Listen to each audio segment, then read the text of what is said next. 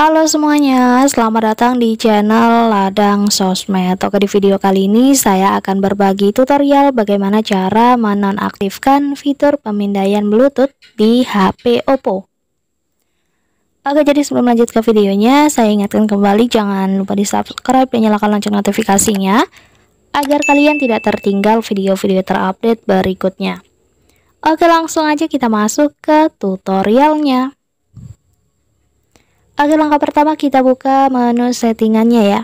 Pengaturan HP Oppo-nya Kemudian kita scroll ke bawah Kita cari yang namanya fitur informasi lokasi.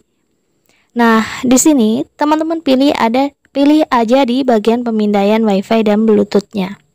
Kemudian untuk menonaktifkan di sini teman-teman matikan aja tombolnya seperti ini Agar dengan begitu, di sini perangkat tidak lagi mengizinkan aplikasi dan layanan untuk memindai perangkat di sekitar kapan aja meskipun Bluetooth itu non-aktif ya teman-teman.